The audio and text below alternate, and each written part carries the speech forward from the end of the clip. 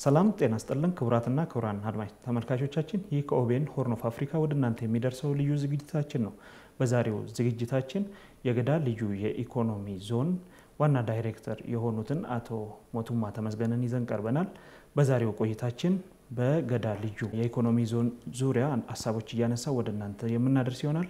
አብሮነታችሁ ከኛ ጋር ይሁን።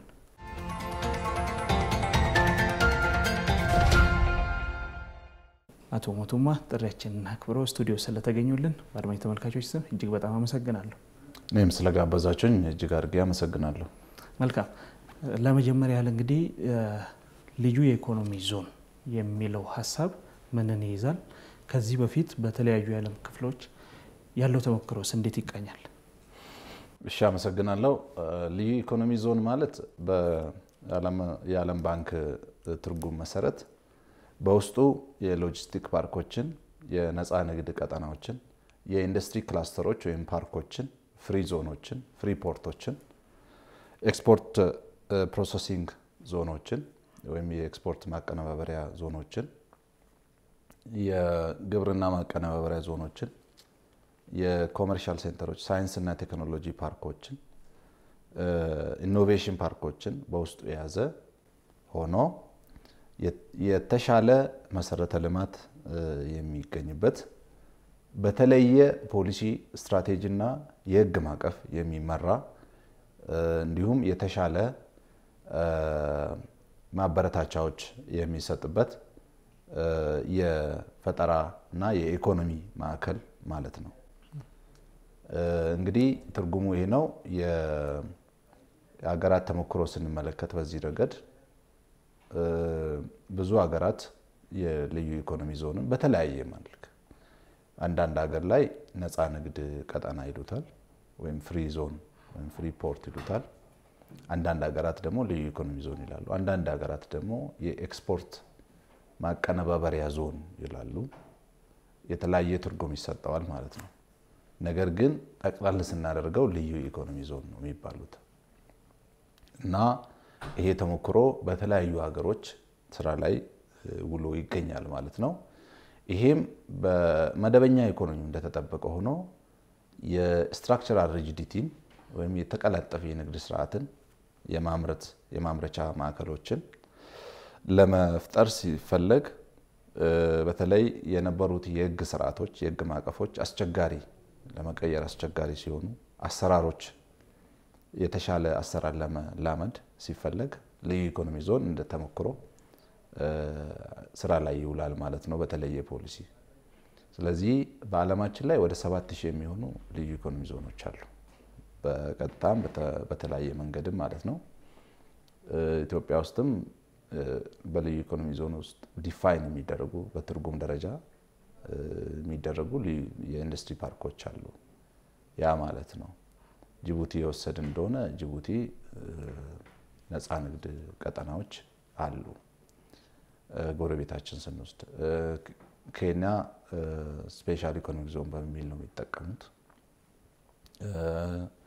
ሩዋንዳ ኪጋሊ ኪጋሊ special economic zone በሚባል ይታወቃል። ሞሪሸስ የተሳካለት special economy zone ተብሎ ይጠቀሳል። ግብፅ፣ ናይጄሪያ export processing zone በመባል ነው የሚታወቀው በብዛት free zone ም ይሉታል። ስለዚህ ብዙ variety ያለ ማለት ነው። South Africa ም እንደዚሁ ይጠቀማሉ። በአፍሪካም ይሄ ተሞክሮ አለ ማለት ነው። ከአፍሪካ ውስጥ የተሳካላቸው ብዙ ሀገሮች አሉ። ለምሳሌ ሩዋንዳን የወሰን የሞሪሸስን የወሰን እንደሆነ የተሳካለት ነው ማለት ነው። በግብፅም ብዙ ይጠቀሙበታል ማለት ይቻላል ማለት ነው። ሌላው ወደ በጣም የተሳካለትና የተጀመረበት የሚባለው ቻይና ነው። ቻይና ወደ አራት የኢኮኖሚዎች የውጭ ኢኮኖሚዎች ላይ ጠጋ አድርጋ ወደ ሆንግ ኮንግ፣ ወደ ታይዋን፣ ወደ ሲንጋፖር፣ ወደ ደቡብ ኮሪያ፣ ወደ ጃፓን ቀረብ አድርገው special economy ዞኖችን ፖሊሲ በመንደፍ ዞኖችን በመመስረት ኢኮኖሚን ከዛ attract ለማድረግ የተጠቀሙበት ተሞክሮ አለ ማለት ነው። ስለዚህ በጣም የተሳካለት ተሞክሮ ማለት የሚቻል የቻይና የሸንዘን በፑዶንግ province እና በፉጂያን province ውስጥ የተደረገ ነው። አብዛኛው ሶስት የሚሆኑት አሁን በብዛት የሚገኙት ጓንግዶንግ province የሚባል ውስጥ ነው። ያን አካባቢ በጣም ያበለጸገ ያለማ special economy zone ሆኖ ለቻይና economic reform በር የተከፈተበት ለቻይና ኢኮኖሚ እድገት መሰረት የተጣለበት ቢኖር ልዩ ኢኮኖሚ ዞኖች ናቸው ማለት ነው። ስለዚህ ለአንዳንድ ሀገር በጣም ለኢኮኖሚያቸው ትልቁን ድርሻ ሚና የሚጫወትበት ሁኔታ አለ ማለት ነው። የተለያዩ ሀገሮች የተለያዩ ተሞክሮ በተለያየ መንገድ ይጠቀሙበታል ማለት ነው። የዓለም አቀፍ ተሞክሮ ይህን ይመስላል። በዱባይ ስንወስድ ጀበላሊ free zone አለ፣ አጅማን free zone፣ አልጀሙራ free zone ብዙ አለ ማለት ነው። በ free zone ደረጃ የሚጠቀሙበት የ duty free ንግድ ወዘተ ወዘተ በሚል ንግድን ለማሳለጥ የዓለም አቀፍ የንግድ መዳረሻ ለመሆን የኢንዱስትሪ መዳረሻ ለመሆን የተጠቀሙበትና የበለጸጉበት አንዳንድ ሀገሮች ይታያል ማለት ነው እና በዱባይ በተለይ በንግዱ ዘርፍ በጣም ከፍተኛ ውጤት የተገኘበት ነው። በቻይና በንግድና በ manufacturing በጣም የዓለም የ manufacturing hub የዓለም ፋብሪካ ተብላ እንድትጠራ ያስቻለ ተሞክሮ በቻይና አለ ማለት ነው እና የቻይና የእድገት ሪፎርም ሲባል ከ special economy zone ተነጣጥሎ አይታይም ማለት ነው እና የዓለም አቀፍ ተሞክሮ ይህንን ይመስላል። አገራት የኢኮኖሚ ፖሊሲ ሪፎርም መተግበሪያ ቦታ ለምሳሌ የ capital market መክፈት የሚፈሩ በ special economy zone ውስጥ እንዲከፈት ያደርጋሉ። የውጭ ባንክ እንዲከፈት የሚፈሩ እዛ ውስጥ እንዲሞከር ያደርጋሉ። incentive ሰጥተው የግብር ስርዓቱ እንዴት manage ይደረጋል የሚል ስጋት ያላቸው በተሞክሮ እንዲታይና የተሳካ ተሞክሮ ከሆነ ወደ ሌላ ቦታ እየሰፋ አዋጭነት የታየ የሚሰፋበት ሁኔታ ነው ያለው የዓለም አቀፍ ተሞክሮ ማለት ነው። መልካም። ከዚሁ ጋር ተያይዞ እንግዲህ ልዩ የኢኮኖሚ ዞን እና ከዚህ በፊት ደግሞ በሀገራችን ለረዥም ጊዜ ሲሰራበት የነበረ የኢንዱስትሪ ፓርኮች ግንባታ ነበረ።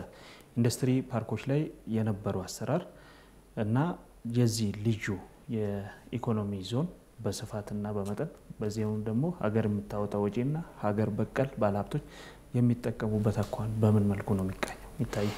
እንግዲህ ክቡር ጠቅላይ ሚኒስትሩ በማስጀመሪያ ስነ የገዳ ልዩ ኢኮኖሚ ዞን እና የሉሜ free trade zone ማስጀመሪያ ስነስርዓቱ ላይ በመገኘት የተናገሩት ምንድን ነው? በብድር ኢንዱስትሪ ፓርኮችን እየገነባን የውጭ ባለሀብቶችን ብቻ እያስገባን የምንሰራበት የነበረው አሰራር መሻሻል እንዳለበት ወደ ልዩ ኢኮኖሚ ዞን መሻሻል እንዳለበት ትስስር መፍጠር ከኢኮኖሚ ጋር ትስስር መፍጠር እንዳለብን። የግብርናን ጥሬ ዕቃ መጠቀም የሚቻልበት ሁኔታ መፍጠር እንዳለብን። የሀገር ውስጥ ባለሀብትም በዞን ውስጥ የሚገቡበት ሁኔታ መፍጠር እንዳለብን። ስለዚህ የሆነ በታጠረ ውስጥ የውጭ ባለሀብቶች ብቻ ሰርተው አገር የኢንዱስትሪ ሽግግር ያመጣል ብለው ማሰብ አይቻልም በሚል ነው ያነሱት። ስለዚህ ያንን መለወጥ የሚችል ዞን ነው ማለት ነው የገዳ ልዩ ኢኮኖሚ ዞን። በጥናትም በዝግጅትም በመሬት ዝግጅትም በ location advantage ም ወስደን ያየን እንደሆነ ይህንን ጠቀሜታ የሚያመጣ ነው ማለት ነው። ስለዚህ ጠቅላላ አድርገን ስንመለከተው የነበሩት ኢንዱስትሪ ፓርኮች ያመጧቸው ለውጦች አሉ። አሁንም የስራ እድሎችን እየፈጠሩ ነው። ወደ ዘጠና ሺህ የሚሆኑ ዜጎች በኢትዮጵያ ውስጥ ባሉ ኢንዱስትሪ ፓርኮች ስራ እየሰሩ ነው። ግን ይሄ ብቻ አይደለም የተፈለገው ማለት ነው፣ በቂ አይደለም። በተጨማሪ የውጭ ምንዛሬ ግኝት ረገድ የተፈለገውን ያክል አላመጣም። እያመጣ ነው፣ ግን በተፈለገው መጠን አይደለም። የኢንዱስትሪ ሽግግርን እናረጋግጥበታለን። የኢንዱስትሪ transfer ን ensure እናደርግበታለን። የኢኮኖሚ መዋቅሩ ይሻሻልበታል ተብሎ የታሰበው ጥሩ ለውጦች አሉ፣ ግን በቂ ስላልሆነ በቂ እንዳልሆነ ነው የተገለጸው ማለት ነው። ስለዚህ ያንን በበቂ ሁኔታ በማረጋገጥ የኢንዱስትሪ ሽግግርን ለማረጋገጥ እንዲሁም ደግሞ ከዓለም አቀፍ የንግድ የኢንዱስትሪ ሽግግር ተጠቃሚ ለመሆን ሀገራችን በ global value chain ውስጥ የራሷን ሚና እንድትጫወት በንግድ ስርዓት ውስጥ የራሷን ሚና እንድትጫወት ከዓለም አቀፍ የንግድ ሰንሰለቶች ጋር እንድትተሳሰር እንግዲህ special economic zone ወይም ደግሞ ልዩ ኢኮኖሚ ዞን ወሳኝነት ሚና ይኖረዋል የሚል እሳቤ ተይዞ የተሰራ ነው ማለት ነው። መልካም። ከዚሁ ጋር ተያይዞ እንግዲህ ከእርስዎ ገለጻ እንደተረዳሁት የቦታ ጥናት ተደርጎ መሰራቱን ነው። በምን ያህል ቦታ ላይ ነው የሚሰፍረው? እንደገና ደግሞ ምን ያህል ጊዜስ ይወስዳል ተገንብቶ ለማጠናቀቅ? አመሰግናለሁ። ገዳ ልዩ ኢኮኖሚ ዞን 24 ሺህ ሄክታር መሬት ላይ ነው። በጣም ሰፊ ቦታ ነው። የአዲስ አበባን እኩሌታን የሚበልጥ የቀድሞ የቢሾፍቱን አስር እጥፍ የሚሆን ቢሾፍቱ ከተማ የቀድሞ የአዳማ ከተማን ወደ ስድስት እጥፍ የሚሆን ትልቅ area ማለት ነው። ስለዚህ በ24 ሺህ ሄክታር መሬት ላይ በየምዕራፎቹ ተከፋፍሎ የሚለማ አካባቢ ማለት ነው። ይሄ በአራት ዞኖች መከፋፈሉ አስፈላጊ የሆነበት ምክንያት ከዓለም አቀፍ ተሞክሮም ስንመለከት በአንድ ጊዜ 24 ሺህ ሄክታር ማልማት አይቻልም። በአንድ ጊዜ ያን ሁሉ ኢንዱስትሪ attract ማድረግ አይቻልም። ነገር ግን የኢንዱስትሪ የ promotion ስራችንና አተገባበራችን ፈጣን ከሆነ አርባ ዓመት ባነሰ ጊዜ ውስጥም ሊሰራ የሚችል ስራ ነው። ሊለማ የሚችል area ነው። ምክንያቱም ኢትዮጵያ ብዙ እድሎች አሏት ማለት ነው። ስለዚህ በአርባ ዓመት ጊዜ ውስጥ ይለማል የሚል መነሻ ተወስዶ ነው ማለት ነው ጥናቱ የተሰራው።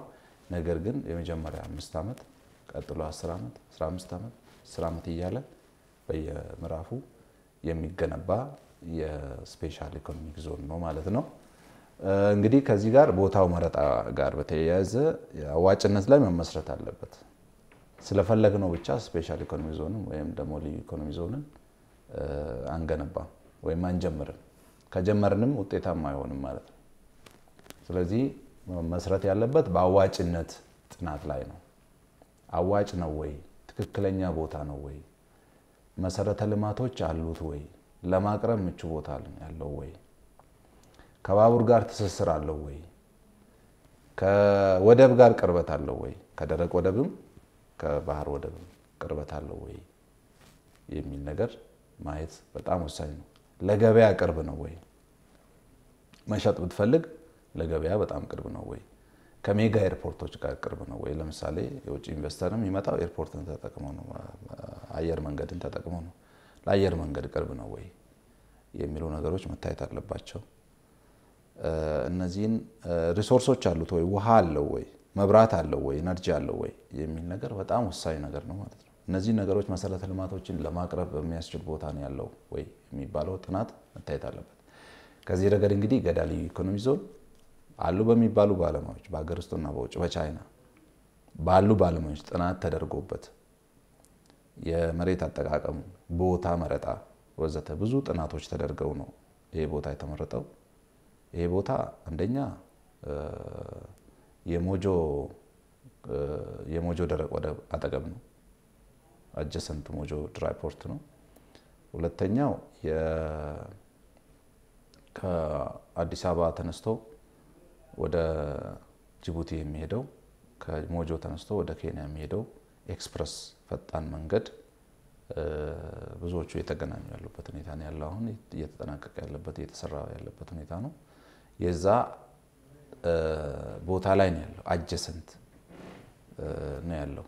ዋና መንገዶች ከፊንፊኔ ተነስተው ጅቡቲ የሚሄዱ ከሞጆ ተነስተው ወደ ኬንያ የሚሄዱ ዋና ዋና መንገዶች የሚያሳልጡት ቦታ ነው።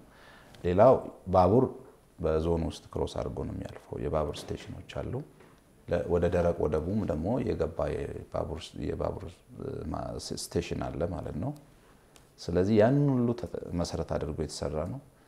ውሃ underground water rich የሆነ surface water አዋሽ cross አድርጎት የሚያልፍ ማለት ነው። ቆቃ ግድብ ጋር የሚዋሰን ቦታ ነው። ስለዚህ surface water አለ፣ underground water አለ ማለት ነው። ስለዚህ ለአንድ ዞን ልማት፣ አንድ ከተማ ልማት በጣም ወሳኝ ናቸው የሚባሉ አስፈላጊ የሆኑ ጥሬ እቃዎችና መሰረተ ልማቶች የሚገኙበት already የሚገኙበት በመሆኑ አዋጭ የሆነ ዞን ነው ማለት ነው። በዚህ ላይ የተመሰረተ 24 ሺህ ሄክታር ላይ የሚለማ ነው ማለት ነው።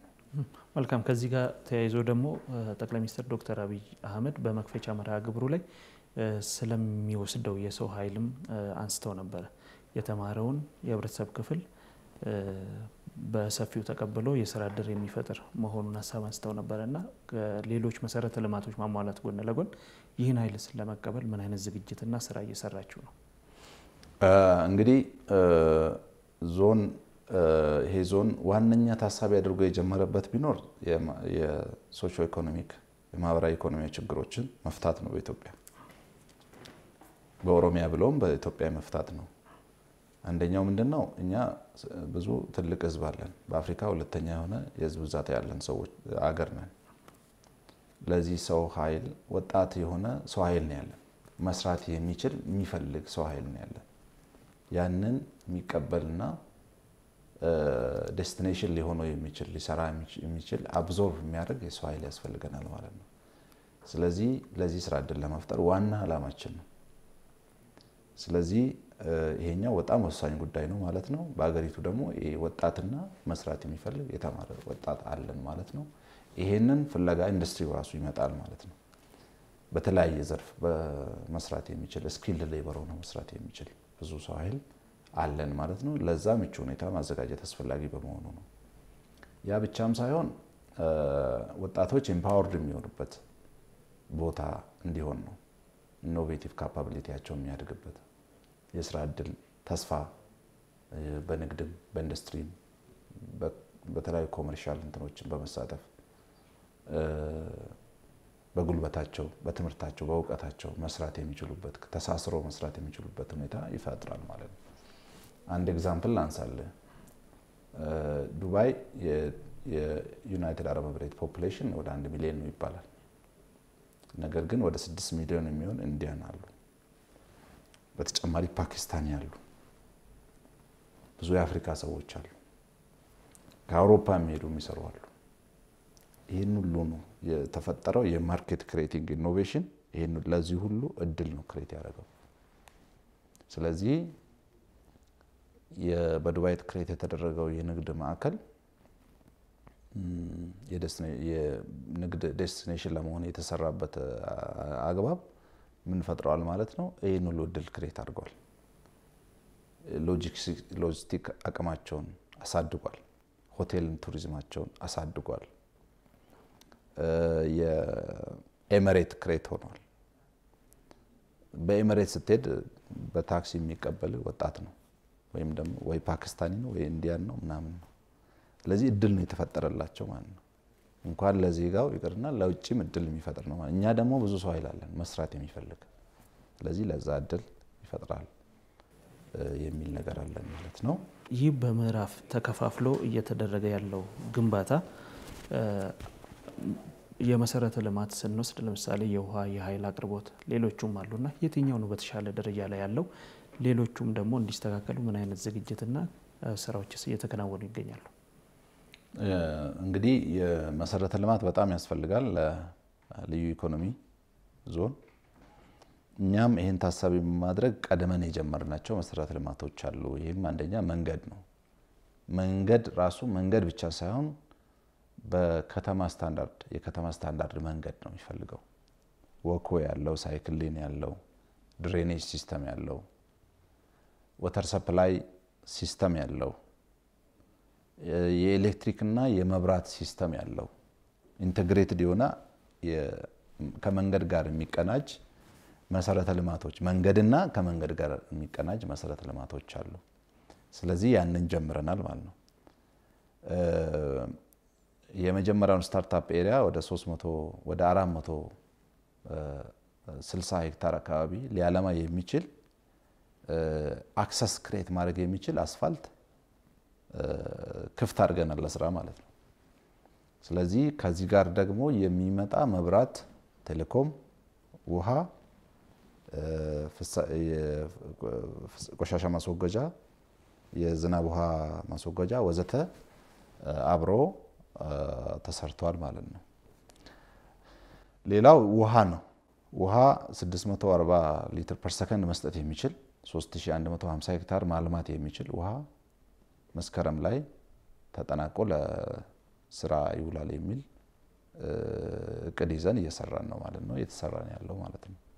ከስምንት ጉድጓዶች እያንዳንዳቸው 80 እስከ 90 ሊትር per ሰከንድ መስጠት የሚችሉ በአጠቃላይ ስንወስድ ወደ 640 ሊትር per ሰከንድ መስጠት የሚችል የውሃ መስመር እየሰራን ነው ማለት ነው። reservoir ሩ የተገነባ ነው። መስመሩ ላይ የተደረገ ነው። electromechanical ወዘተ የጉድጓድ ቁፋሮ እያለቀ ነው። electromechanical ግዢ እየተሰራ ነው። ስለዚህ በመስከረም ይሄ ስራ ይጠናቀቃል ብለን እየሰራን ነው ማለት ነው። ስለዚህ ከመስከረም ጀምሮ ኢንዱስትሪ እኛ ዞን ውስጥ የሚመጡ መንገድ አላቸው፣ መብራት ይኖራቸዋል፣ ቴሌኮም ይኖራቸዋል፣ ውሃ ይኖራቸዋል ማለት ነው። ስለዚህ serviced land እያዘጋጀን ነው ማለት ነው። እነዚህ በጣም ወሳኝ ናቸው። በተጨማሪ ደግሞ ሊቆራረጥ የማይችል የኃይል የኤሌክትሪክ መስመር የሰራን ነው። እሱም ደግሞ ምንድን ነው substation ወደ 230 ሜጋዋት ለ startup area አሁን ማገልገል የሚችል ሌሎች substation ኦች ያስፈልጉናል። ግን የመጀመሪያው substation ግንባታ 40 percent ላይ ደርሶ የተሰራ ነው electric power ማለት ነው። በዚህ ደረጃ ያለ ነው። መሬት የማዘጋጀት ስራም ተዘጋጅቶ ነው ያለው። ስለዚህ investor ኦች ሲመጡ መጥተው warehouse መገንባት የሚፈልግ warehouse ኡን ገንብቶ ስራውን መጀመር የሚያስችልና ሁሉንም መሰረተ ልማቶች አንድ ቦታ የሚያገኝበት ሁኔታ ተዘጋጅተናል ማለት ነው። አይ እኔ የራሴን ኢንዱስትሪ ፓርክ ነው የምገነባው፣ የሆነ ዞን መገንባት ፈልጋለሁ፣ የኤሌክትሪክ መኪኖች ፓርክ መገንባት ፈልጋለሁ፣ ወይም ደግሞ የ construction material ፓርክ መገንባት ፈልጋለሁ፣ በራሴ መሰረተ ልማቶችን ማቀርባለሁ ካል ገዳ 24 ሺህ ሄክታር መሬት ላይ የተመሰረተ ስለሆነ ለዛም ቦታ አለን ማለት ነው። አኮሞዴት ማድረግ የሚያስችል ከዓለም የሚመጣ ማንኛውም ከሀገር ውስጥም የሚመጣ ማንኛውም ኢንዱስትሪ ፍላጎት ማስተናገድ የሚችል ዞን ነው ማለት ነው። በዚህ ደረጃ ነው ያለን ዝግጅት። በተጨማሪ ግን ይሄንን መሰረተ ልማት እያሰፉ እያበዙ መሄድ ይጠይቃል ማለት ነው። ኳሊቲውን እየጨመሩ መሄድ ይጠይቃል። ይሄ ደግሞ ፋይናንስ ይፈልጋል። በዚህ ረገድ እየሰራን ነው። የተለያዩ stakeholder ኦች ድጋፍም ይፈልጋል ማለት ነው። ለምሳሌ ባቡር connect ማድረግ ያስፈልጋል። ሎጂስቲኩ የተሳለጠ እንዲሆን loading unloading ኡን ለመቀነስ ማለት ነው። በ truck ጭነ ወደ ሌላ ቦታ ወስደ ከዛ ላይ ደግሞ ኮንቴነሩን አውርደ unload አድርገ ከመጫን እዛው ላይ ባቡሩ ቢገባ loading unloading ኡን ትቀንሳለ ማለት ነው። efficiency የ logistic efficiency በዓለም አቀፍ ተወዳዳሪነት ላይ የራሱ ሚና ስላለው ማለት ነው። ስለዚህ እነዚህ በጣም ያስፈልጋሉ። በቀጣይ መንገዶችን የማስፋት የማልማት ተጨማሪ መንገዶችን የማቅረብ ኃይል እንዳይቆራረጥ የማድረግ ስራዎች በተለያዩ stakeholder ኦች ስራ አጠናክረን የምንቀጥል ይሆናል ማለት ነው። መልካም። ከዚህ ጋር ተያይዞ እንግዲህ እስካሁን እያከናወናችሁ የምትገኙት ስራ በጥሩ ደረጃ ላይ እንዳለ ነው ልረዳ የሞከርኩትና ጠቅላይ ሚኒስትሩ በዛው መክፈቻው ስነስርዓት ላይ የመርካት በተሰራው ስራ የመርካት በሽታ እንዳያጠቃችሁ በርታችሁ መስራት አለባችሁ የሚል ማሳሰቢያ መሰል መልእክት ማስተላልፏልና እስቲ ምን አይነት አረዳድ ነው ያለው እዛ ጋር? እንግዲህ ይሄ ትልቅ መልእክት ነው። ምንድን ነው የተባለው? በግብርና አንዳንድ ለውጦች እያመጣን ነው። በስንዴ ለውጦች እየመጡ ነው። በመስኖ ልማቶች እየመጡ ነው። በከተማ ግብርና ለውጥ እየመጣ ነው። በተለያዩ ሴክተሮች ስንወስድ በግብርና ውጤት እየመጣ ነው። በኢንዱስትሪ ግን በተለየ መንገድ ይሄንን ጀምራቸዋል። ጅማሮውም ስናየው በጣም ጥሩ ነው። ነገር ግን ትልቅ ስራ ከፊታችን አለ። በዚህ ረክታችሁ ስራችንን ሰርተናል ጨርሰናል ብላችሁ እንዳትቀመጡ ነው። ስለዚህ there is always room for improvement የተሻሻለ የተለወጠ agility ውን እየጨመረ ፍጥነቱን እየጨመረ የሚሄድ management መኖር እንዳለበት ነው። ክልላችንም initiative ን ወስዶ ፕሬዚደንት ሽመልስ አብዲሳ ይህን ነገር እዚህ ደረጃ ላይ አድርሰዋል። ስለዚህ አደራችሁን አጠናክራችሁ ቀጥሉበት፣ የማልማቱን ስራ አገልግሎት አሰጣጡን አሻሽሎት የሚል መልእክት ነው የሚሰጠን። በተለይ ደግሞ እንደ ሀገር በኢንዱስትሪ ዘርፍ የኢንዱስትሪ ሽግግር ከማምጣት ረገድ ብዙ አልተሻገርንም። በዘመናት መካከል still we are agrarian economy የግብርና ሴክተሩ በጣም ትልቅ ነው። ግብርና ሴክተሩ ትልቅ መሆኑ አይደለም ችግሩ፣ ግን ኢንዱስትሪው ከድርሻው ትልቅ መሆን ነበረበት። ግብርናው እያደገ ግን የኢንዱስትሪው ድርሻ ደግሞ እያደገ መምጣት አለበት more። ይሄ ለብዙ ዘመናት ፕላን ተደርገው ስትራቴጂ ወጥቶ የሚፈለገው ደረጃ አልመጣም። ስለዚህ ያንን ነው የጀመራችሁትና ይህንን አጠናክራችሁ ቀጥሎ ይሄ ቀላል ስራ አይደለም የሚል message ነው ያለው፣ መልእክት ነው ያለው። እንግዲህ ትኩረት አድርገው ጠቅላይ ሚኒስትሩ የመክፈቻ ስነስርዓቱ ላይ በመገኘት ለኢንዱስትሪ እድገት ያላቸውን ቀናይነት፣ ፍላጎት መንግስት ያለውን ፍላጎት በፖሊሲም ጭምር በመደገፍ በአካልም በመገኘት እንዲጀመር በይፋ እንዲጀመር መጀመሩን ማብሰራቸው በጣም ትልቅ ነገርና ለእኛ ተነሳሽነት የሚሆንን ነገር ስለሆነ መልእክቱን ትልቅ መልእክት ነው፣ አደራ ነው። ያንን ተቀብለን የምንሰራ መሆኑን እንገልጻለን ማለት ነው። መልካም። በመጨረሻም ቀረ ቢታከልበት የሚሉት ሀሳብ ካለ እድሉን። እሺ፣ አመሰግናለሁ። ብዙ ነገር አንስተናል። እንግዲህ ዞናችን ላይ ዞኑ ህብረተሰቡን በማቀፍ በውስጡ የሚሰራ ዞን በመሆኑ ህብረተሰቡም ተባባሪነቱን ማሳደግ መቻል አለበት።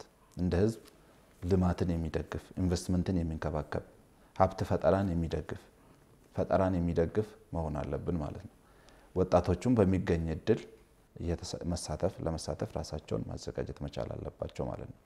ፈጣን ታታሪ ሰራተኛ ለመሆን መዘጋጀት ያስፈልጋል። የተለያዩ ስቴክሆልደሮችን በመሰረተ ልማት ሊሆን ይችላል የሚመለከታቸው አካላት ሁሉ የራሳቸውን ሚና መወጣት አለባቸው። የፌዴራልም የክልልም ማለት ነው።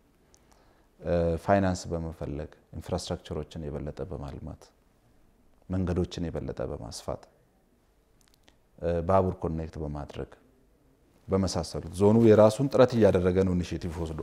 ነገር ግን ይሄ ለሀገር ለክልል ብቻ ሳይሆን ለሀገርም አስተዋጽኦ የሚያበረክት በመሆኑ የተለያዩ stakeholder ኦች በፖሊሲና በስትራቴጂ የተደገፈውን ዞን በሌሎች ሕጎች፣ ደንቦች እና መመሪያዎችም መደገፍ ያስፈልጋል። ይህንን ካደረግን የተዋጣለት እና የተሳካለት ዞን መገንባት ይቻላል የሚል እምነት አለኝ። መልእክቴ ነው። አመሰግናለሁ። አቶ ሞቱማ ተመስገን የገዳ ልዩ ኢኮኖሚ ዞን ዋና ዳይሬክተር፣ ለነበረን ቆይታ እጅግ በጣም አመሰግናለሁ። እኔም ስለጋበዛችሁኝ አመሰግናለሁ። ክቡራትና ክቡራን አድማጭ ተመልካቾቻችን የዛሬው ዝግጅታችን ይህን ይመስል ነበረ። ከቀሪዎቹ የኦቢኤን ሆርን ኦፍ አፍሪካ ዝግጅቶች ጋር ቆይታ እንድታደርጉ እየጋበዝኩኝ እኔ ከወዲሁ ተሰናበትኩኝ።